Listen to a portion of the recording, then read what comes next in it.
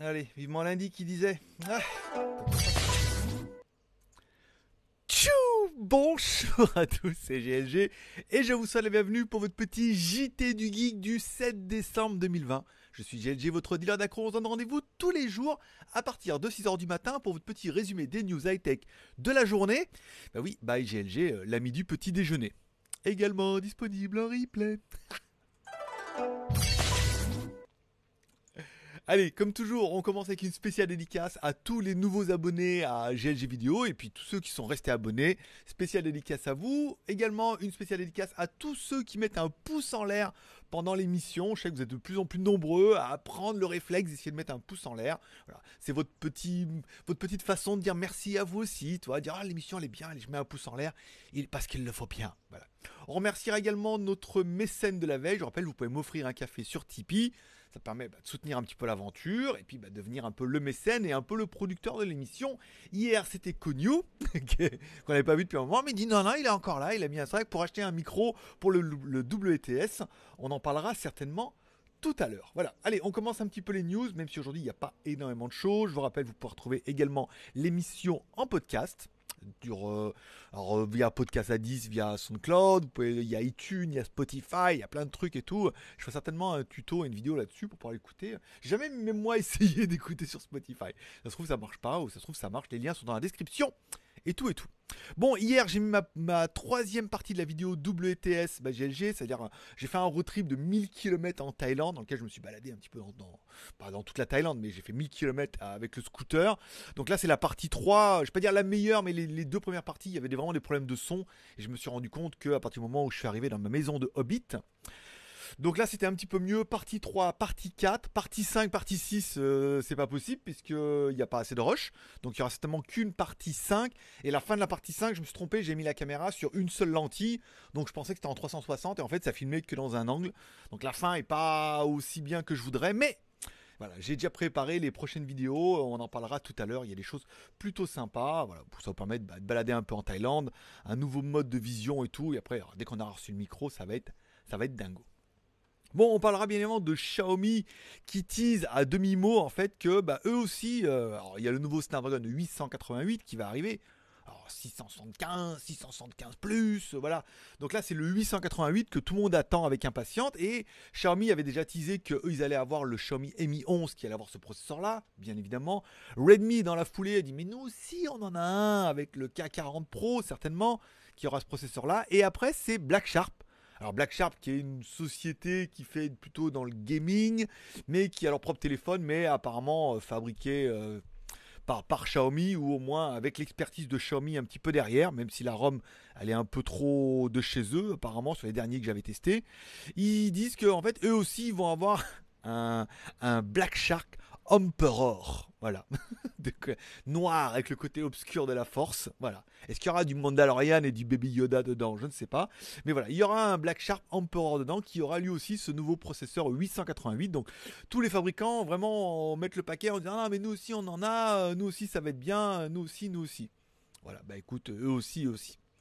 Et en parlant de eux aussi, eux aussi, apparemment commence à teaser de plus en plus en fait un LG Rolab Rollable. Alors, s'il y en a qui se rappellent un peu le Oppo X, qui était un téléphone qui était bon normal et qui se dépliait avec un écran roulable dedans, qui se dépliait, qui permettait de doubler sa surface. Et ben en fait, LG ils ont exactement le même. Ce qui, alors, soit c'est le hasard euh, hasardeux, soit bon bah euh, il y a des similitudes un petit peu entre les deux et euh, bah, il serait assez proche hein, en fait hein, apparemment d'une commercialisation puisque il aurait déjà teasé apparemment pour être répertorié chez un fabricant. Alors il pourrait arriver qu'en Corée dans un premier temps parce que les premiers marchés de téléphones comme ça, on peut dire bon, c'est d'abord la Corée et puis après ils vont essayer comme ça et puis si ça marche, ils le développeront dans le reste du monde. Bon, ce qui est sûr, c'est que le téléphone sera cher, ce qui sera dépliable. Alors apparemment, la partie centrale resterait fixe ce seraient les côtés qui s'élargiraient avec un écran dépliable et tout. Enfin bon, belle. Euh, là, on est un peu dans le proto quand même. Hein. On est un peu dans le futur. Mais on se dit, putain, dans, un, le futur euh, proche, Si les téléphones pouvaient se déplier comme ça et tout, enfin vraiment technologiquement, euh, ça déchire et tout. Bon, le téléphone sera bien, joli, magnifique et tout. On ne sait pas bien grand chose, mais bon, on a bien vu que les téléphones pliants euh, comme ça en livre, c'était pas génial, génial. C'était pas le meilleur form factor. Donc là, c'est vrai que c'est un nouveau design qui est quand même beaucoup plus intéressant, plus fonctionnel. Et moi, je me verrais plus avec un truc comme ça qu'un truc qui se plie, se déplie. Ou de toute façon, à part, les youtubeurs qui l'ont reçu gratuit, personne n'en dit du bien. Hein. Et je crois que même ceux qui ne disent pas que c'est pas si génial que ça. Quoi. Bon, à part ceux qui ont reçu un gros chèque, eux, bon, ils disent que là, c'est tout bien. Enfin bon, après les autres, non.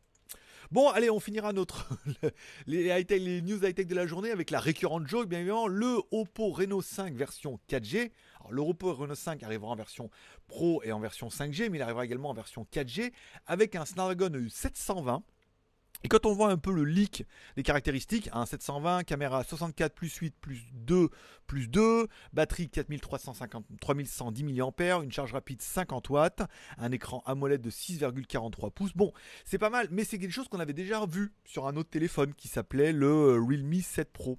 voilà. Donc le Realme 7 Pro, c'est à peu près la même chose, à part que bah, lui à la base, il n'avait pas la charge rapide de 50 watts. Donc ça pourrait être vraiment un truc vraiment décliner, à prendre un téléphone qui existe déjà, le modifier un petit peu pour réduire un peu les coûts et nous sortir deux Oppo euh, Reno 5 Pro 5G. Voilà. Bon, un upgrade 5G de ce qui existe déjà. Rien d'incroyable, on est un peu d'accord. Bon, à voir, à voir, mais bon, euh, on est d'accord que c'est notre récurrent joke, hein, on en parle.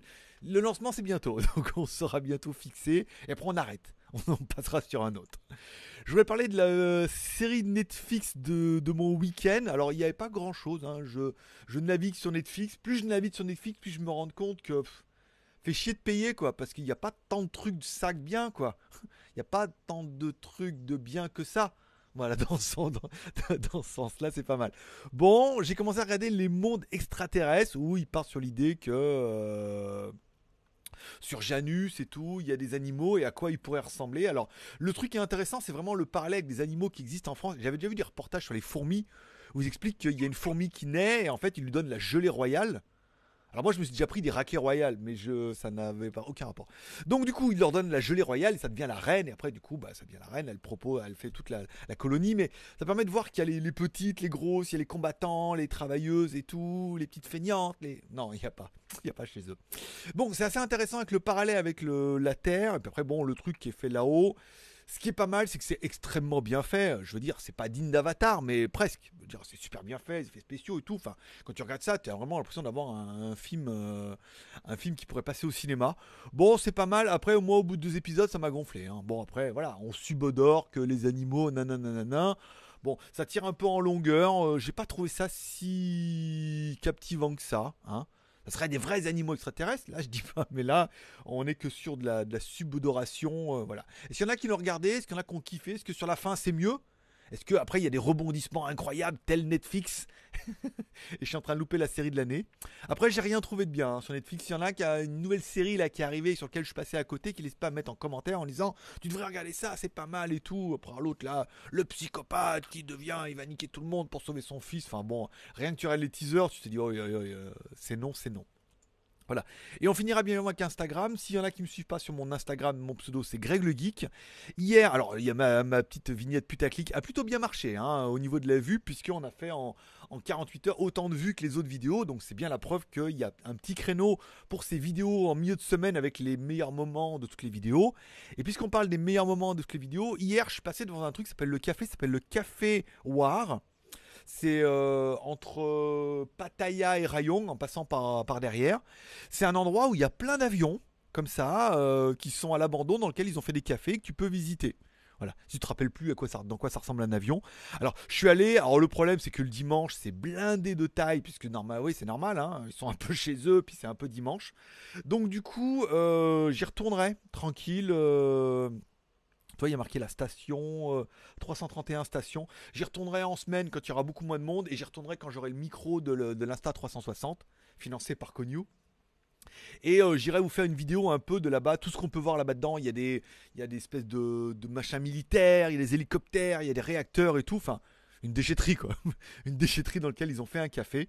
Voilà. Donc ça sera partie du prochain WTS. Euh, là après il y a le 5, donc ça sera le 6 et pour le 7, j'ai bien envie d'aller à Trat. C'est pas trop loin, il y a 250 bornes et puis on reprendra la caméra pareil, on ira à Trat. Donc là on aura le micro, le nouveau blouson moto Zolki que je pourrais vous présenter un peu. On sera bien équipé, on ira là-bas. J'ai trouvé déjà un hôtel pas cher. Je partirai certainement 2-3 jours.